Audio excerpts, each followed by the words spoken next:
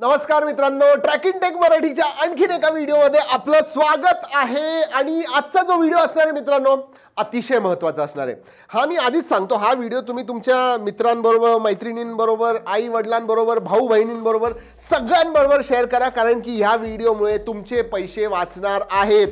And नाही, तुम्ही एक परफेक्ट स्मार्टफ़ोन तुमच्यासाठी जो आहे तो तुम्हें खरे करू शकाल. हा व्हिडिओ नक्की बघा एंडपर्यंत बघा. पण त्या जर का पहिल्यांदा आमच्या चॅनलवरती आला असाल तर सबस्क्राईब विसरू नका. बेल आयकन वाजवा ऑल करा. म्हणजे आमच्या व्हिडिओचे सगळे नोटिफिकेशन तुम्हाला मिळतील जसे आम्ही व्हिडिओ अपलोड करू. मित्रांनो, आपण टी फ्रीज हे पाँच, आठ, दहा पंद्रह वर्षांनी बाय करतो. स्मार्टफ़ोन जे है ना ते काही काही लोक एक एक दीड दीड वर्षात बाय करायला लागलेली आहेत. मला खरं मला कधीच कळालेलं नाही.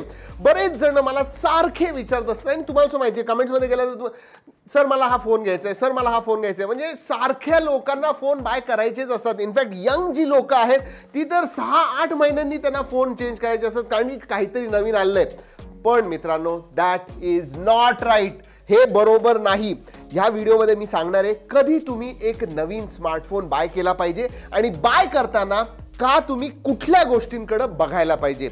सगळ्यात अगोदर, तुम्ही एका स्मार्टफोनवरती काय करता, हा स्वतःलाच प्रश्न विचारा. म्हणजे स्वतःलाच प्रश्न विचारा. एक पेपर घ्या पेन घ्या. टॉप तीन गोष्टी तुम्ही काय करता? जास्त फ़ोटो काढता फ़ोन करता व्हिडिओज बघता गेम खेळता. आणि ते सुद्धा रँक करा की हा नाही सगळ्यात जास्त महत्त्वाचं माझ्यासाठी कॅमेरा आहे. दुसऱ्या नंबरवरती आहे गेमिंग तिसऱ्या नंबरवरती आहे दिसणं म्हणजे डिझाईन वगैरे. म्हणजे तुमच्यासाठी प्रत्येक माणसाचं एक युनिक रिक्वायरमेंट असते. आणि ते तुम्ही पेपरवरती लिहिल्यानंतर तुम्हाला ॲक्च्युली कळेल की हां मला माझ्या स्मार्टफोनमध्ये हे पाहिजे आणि मग तुम्ही एक राईट डिसिजन करू शकता. दुसरी गोष्ट मित्रांनो तुम्ही किती दिवस हा फ़ोन वापरणार आहे? आता ती जी लिस्ट आहे, त्याच्यामध्ये सुद्धा मी तुम्हाला सांगणार आहे की काय काय तुम्ही स्वतःला विचारलं पाहिजे. पण दुसरी महत्त्वाची गोष्ट म्हणजे तुम्ही एक फ़ोन जनरली किती दिवस वापरण्याचा विचार करत आहात? जर का तुम्ही मला विचारलं की एक कुठलाही फ़ोन एक मिड रेंज होऊ दे किंवा एक फ्लॅगशिप असू दे, किती दिवस वापरायला पाहिजे? कमीत कमी एक स्मार्टफ़ोन कमीत कमी दोन वर्ष गेला पाहिजे मित्रांनो, हे फार महत्त्वाचं आहे. म्हणजे जर का तुम्ही तीन, साडेतीन, चार वर्ष वापरत असाल हा फ़ोन तुमचा जो फ़ोन है तो देन इट इज़ एक्सलंट हाँ हाच बाबतीत खाली कमेंट्समध्ये सांगा की तुमचा जो फ़ोन है कि जुना है कि वर्ष कि किंवा किती महिने तुम्ही वापरलेला आहे? आजकाल का इतक लवकर बाय करतात? कारण की ते जे नवीन नवीन, म्हणजे इतके लॉन्चेस म्हणजे माझ्यासारखे जे टेक युट्यूबर्स आहेत, त्यांना तर दर दिवशी अनबॉक्सिंग नव्या नव्या फोनचं करायला लागतं. म्हणजे विचार करा. आणि दर वेळेला, दर महिन्याला नवीन काहीतरी येत असतं. आज फाईव्ह जी आलं, तर क्वाड कॅमेरा झाले, तर सहा कॅमेरा झाले, पुढे डुएल सेल्फी कॅमेरा झाले, तर ॲमोलेड स्क्रीन आली, मोठी स्क्रीन आली. म्हणजे प्रत्येक फोनमध्ये काहीतरी नवीन असतं, काहीतरी इनोव्हेटिव्ह असतं. हा जो एरिया आहे, ही जी कॅटेगरी आहे, ही जी स्मार्टफ़ोन इंडस्ट्री आहे, ही अशीच आहे म्हणजे टेक्नॉलॉजी चेंज होते आणि ही होत राहणार आहे. अर्थ असा नाही की तुम्ही एक नवीन गोष्ट आली की लगेच बाय करायचं. कारण की एक सहा महिन्यांनी, दोन महिन्यांनी, दहा दिवसांनी सुद्धा एक नवीन गोष्ट येणार. ते तुम्ही आत्ता जर का फ़ोन खरेदी केला, दहा दिवसानंतर एक महिन्यानंतर तुम्हाला परत वाढणार अरे, मी एक महिना थांबायला पाहिजे होतं. त्याच्यापेक्षा सगळ्यात चांगली गोष्ट तुम्ही जेव्हा तुमचा फ़ोन टोटली खराब झालेला आहे, अक्षरशः म्हणजे रिपेअर करू शकत नाही आणि तुम्ही त्याच्यावरती जे तुम्हाला काम करायचं आहे ते तुम्ही करू शकत नाही. फॉर एक्झाम्पल तुम्ही फ़ोन करता. फोनच होत नाहीये. हा, तर मग तुम्ही चेंज करा फोनला बरं, आता फ़ोन घेताना मित्रांनो दोन तीन गोष्टी महत्वाच्या आहेत. म्हणजे, हा ग्लास बिल्ड आहे. ग्लास पाहिजे मला ग्लास बिल्ड बॅक ग्लासच पाहिजे. अरे, कशाला? प्लॅस्टिक चांगलं प्लॅस्टिक डिझाईन असलं, केसच्या बरोबर लावा. लोकांना कळणार सुद्धा नाही की प्लॅस्टिक आहे का ग्लास है पे जेव्हा ग्लास से तुम्हें फ़ोन घेता मे तुम्हें पैसे जास्त देता. एक गोष्ट लक्षात ठेवा भरपूर पैसे असतील. माझं ही म्हणणं नहीं है तुम्हें दर दोन महिन्यांनी सुद्धा फ़ोन घया. नो प्रॉब्लेम्स एट ऑल माझा हा वीडियो जो है तो लोकानी आहे जे सारखे जे पैसे खर्च करतायत उगाच आणि त्यांच्याकडे पैसे कमी आहेत बजेटवरती आहेत ते, त्यांच्यासाठी हा व्हिडिओ आहे. दुसरी गोष्ट, जसं मी आधी सुरुवातीला म्हटलं की तुम्ही कशासाठी फ़ोन वापरता? गेमिंगसाठी दिवसभर तुम्ही त्या, त्याच्यावरती गेम तसंही गेमिंग जास्त करू नका मित्रांनो डिस्क्लेमर अजिबात चांगलं नाही आहे पण समजा थोडं बहुत तुम्ही गेमिंग करत असाल, किंवा तुम्ही अशी गोष्ट करत असाल की दिवसभर तुम्हाला फ़ोन धरून ठेवावा लागतो तर तुम्ही काय करायला पाहिजे? विचार करायला हा हेवी घ्या हेवी फ़ोन जो असेल तो नको. कारण की जर का दिवसभर तुम्हाला तो धरून काहीतरी तुम्ही त्याच्यावरती काम करणार असाल, तर तुमची बोटं वगैरे दुखतील. जास्त मोठा सुद्धा नको. स्लाइटली छोटा असलेला बरा, म्हणजे हातात तुम्ही मॅनेज करू शकाल. ह्या ज्या गोष्टी असतात, ह्या विचार करणं फार महत्वाचं असतं. पण मित्रांनो, तोच हेवी फ़ोन दुसऱ्यासाठी अतिशय चांगला असतो. फॉर एक्झाम्पल तुम्ही टूरवरती जाता.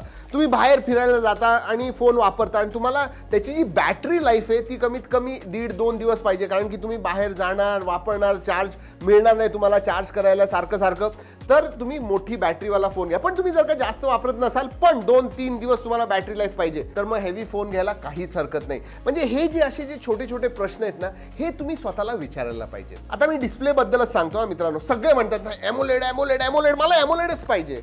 हो का पाहिजे? म्हणजे हा ठीक आहे, जर का तुम्ही सनलाईटमध्ये कंटिन्युअसली फ़ोन बाहेरच डिरेक्ट सनलाईटमध्ये वापरत असाल हो. किंवा मग तुम्ही खूप जास्त मल्टीमीडिया करत असाल. याचा अर्थ तुम्ही खूप व्हिडिओ बघता, अर्धा दिवस नुसतं नेटफ्लिक्सवरती असता, तर हो एमोलेड मी म्हणेन. पण बाकी सगळी जी फ़ोन करतात, थोडं बहुत गेमिंग करायचं. इनफॅक्ट गेमिंगमध्ये तुम्ही वन ट्वेंटी हर्ट्स घ्या फास्ट रिफ्रेश रेट त्याच्यामध्ये तुम्हाला मज़ा एमोलेड घेतलं आणि त्याच्यामध्ये जर का फास्ट रिफ्रेश रेट नसलं, तुम्हाला मज़ा येणार नाही. तर हा सुद्धा प्रश्न विचारायचा की, हो एमोलेड आहे चांगलं टेक्नॉलॉजी चांगली आहे पण मला त्याची गरज आहे का? आणि लक्षात ठेवा जसं मी तुम्हाला सांगितलंय म्हणजे सगळ्याच गोष्टी असणं चांगलंच आहे. पैसे जास्त द्यावे लागतात. दॅट इज इम्पॉर्टंट आणि मित्रांनो एक गोष्टीकडे आपण दुर्लक्ष करतो. ओ एस म्हणजे जे सॉफ्टवेअर असतं फोनवरती, त्याचं, म्हणजे अँड्रॉइडच असतं, पण त्याच्यावरती यू आय वगैरे असतं. आता तुम्ही कशाशी कम्फर्टेबल आहात? कारण की प्रत्येक फोनचं जे यू आय असतं, ते वेगळं असतं. म्हणजे तुम्ही शाओमीचं बघा, तुम्ही रिअलमीचं बघा, तुम्ही विवोचं बघा सॅमसंगचं बघा ऑप्पोचं बघा इन्फिनिक्सचं बघा, सगळ्यांचे स्वतःचे यू आय असतात आणि त्याच्यामध्ये काही चांगल्या गोष्टी असतात, काही खराब गोष्टी असतात. तर तुम्ही जेव्हा फ़ोन घेत असाल, तेव्हा तुम्ही त्याच्यावरती ओ एस कुठला आहे हे नक्की विचार करा आणि मग गॅप त्याचं कारण सुद्धा सांगतो सगळ्यात जास्त तुमचं जे इंटरॅक्शन होत असतं म्हणजे तुम्ही स्मार्टफोनवरती ओ एस थ्रू सगळ्या गोष्टी ॲप्स ओपन करताय गेम्स खेळताय सगळं ते ओ एस थ्रू होत असतं आणि त्यामुळे इंटरॅक्शन जास्त असतं. ओ एस कुठली आहे? हे नक्की ओ एसपेक्षाही यू आय कुठली आहे? हे नक्की लक्ष द्या. आणि हो जे ब्रँड तुम्ही घेताय, ते अपडेट देतात का तुम्हाला? सेक्युरिटी अपडेट रेग्युलरली येतात का? एक वर्ष, दोन वर्ष सॉफ्टवेअर अपडेट म्हणजे आता अँड्रॉइड नाईनवरती घेतले तर तुम्हाला अँड्रॉइड टेन मिळेल का? अँड्रॉइड इलेव्हन मिळेल का? ह्या सगळ्या गोष्टींकडे सुद्धा बघणं महत्त्वाचं असतं. बरं कॅमेराबद्दल मला एक महत्त्वाची गोष्ट सांगायची megapixel count is does not count म्हणजे megapixel count does not count. म्हणण्याचा उद्देश असा की hundred and eight megapixel, sixty four megapixel वगैरे आहे म्हणून घेण्याला काही अर्थ नाही. जरी सिक्स्टी फोर मेगापिक्सेल असला, तरी ट्वेल्व मेगापिक्सेलचा दुसरा फ़ोन जो आहे तो चांगले फ़ोटो काढू शकतं. येस म्हणजे it is not pixel game pixel game नाही हा. त्याचा सेन्सर असतो, त्याचा ओ एस असतं, त्याचा एस पी म्हणजे सी पी यू किंवा इमेज सिग्नल प्रोसेसिंग इमेज कशी प्रोसेस करतं, ह्या सगळ्या गोष्टी त्यामध्ये असतात. सॉफ्टवेअर आणि हार्डवेअर आणि मग पोस्ट प्रोसेसिंग मिळून तुमचा एक फ़ोटो तयार होतो, जो की चांगला असतो. म्हणजे तुम्ही फक्त एक सेन्सर बघून चांगला, अरे वा sixty four megapixel hundred and eight megapixel sensor आहे, म्हणून जर का तुम्ही स्मार्टफ़ोन घेतला, याचं गॅरंटी होत नाही की तुमचा फ़ोटो चांगला निघेल. त्यामुळे त्याच्यावरती थोडं रिसर्च करा. आणि ह्या बाबतीत म्हणायचं झालं, तर तुम्ही आमचे व्हिडिओ बघा. येस म्हणजे तुम्हाला कळेल, कारण की आम्ही ॲक्च्युअल सॅम्पल्स काढून तुम्हाला दाखवतो. ते बघा, ते तुम्हाला आवडले तर मग फोनकडे बघा. कारण की तुमच्या, तुमच्यासाठी जर का कॅमेरा फार महत्त्वाचा असला, हो फीचर्स वगैरे बघा तुम्ही कॅमेराचे पण पिक्सेलकडे जाऊ नका, की जास्त पिक्सेल म्हणजे चांगला कॅमेरा ही एक सिम्पल गोष्ट आहे. अजिबात विसरू नका. तुमच्या मित्रांना सुद्धा हे सांगा. अरे, माझ्याकडं sixty four megapixel camera smartphone आहे. नाही, याचा अर्थ असा नाही की चांगला फ़ोटो निघतो. कनेक्टिव्हिटी ऑप्शन्समध्ये मित्रांनो, म्हणजे आजकाल जवळजवळ सगळे सारखे येतात, पण तरी सुद्धा तुम्हाला एन एफ़ सी पाहिजे का नाही? एन एफ़ सी आहे, त्या, त्यामुळे मी फ़ोन घेणार आहे. काय गरज नाही एन एफ़ सीचे ॲप्लिकेशन्सच नाही आहेत आपल्याकडं. आपण जास्त वापरतच नाही, त्याची गरज नाही. हो, पण जर का तुम्ही पावसाळ्यात जास्त फ़ोन वापरत असाल, बाहेर तुम्ही पाणी जिथं भरपूर असेल, अशा ठिकाणी काम करत असाल, तिथं तुम्ही फ़ोन वापरत असाल, तर तुम्ही आय पी सर्टिफिकेशन नक्की बघायला पाहिजे. की बाबा I P fifty two certified आहे आय पी सिक्स्टी फाईव्ह जे काय आय पी सर्टिफिकेशन असतं, ते आहे की नाही हे बघा. तर तुमच्या रिक्वायरमेंट मी प्रत्येक वेळा हेच सांगतो आणि हे रिपीट करतो म्हणजे तुमच्या डोक्यात ते सपकन घुसेल. की तुमची रिक्वायरमेंट काय आहे? त्याप्रमाणे तुम्ही स्वतःला प्रश्न विचारा, उत्तरं मिळाल्यानंतर मग स्मार्टफोनकडे बघा. आता दोन एक, दोन गोष्टी अजून महत्त्वाच्या सांगणाऱ्या ज्या महत्त्वाच्या असतात. मित्रांनो फ़ोन घेतल्यानंतर जर का खराब झाला आणि तुम्हाला जर का ते नीट करता आला नाही फ़ोन किती महागात पडेल तो फ़ोन म्हणजे तुम्ही घेतलाय, दोन महिन्यांनी खराब झाला आणि सर्व्हिस सेंटर नाही म्हणजे पुण्यापासून मुंबईवरती जायला लागतंय सर्व्हिस सेंटरसाठी आणि मग एक महिनाभर ठेवायला लागतंय. त्यामुळं आफ्टर सेल सर्व्हिस महत्त्वाची आहे. इंटरनेटवरती जावा.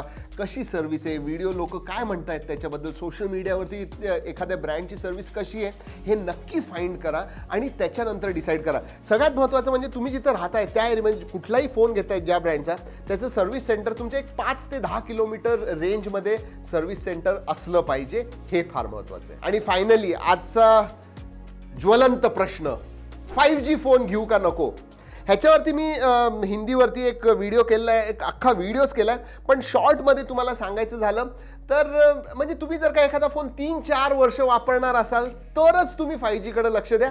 आणि फाय जीसुद्धा सगळ्यात महत्त्वाचं कारण नसावं. चौथं पाचवं कारण नसावं. पहिलं परफॉर्मन्स मग कॅमेरा त्याची बॅटरी मग त्याचा डिस्प्ले आणि त्याच्यानंतर मग बहुतेक फाईव्ह जी असं यायला पाहिजे.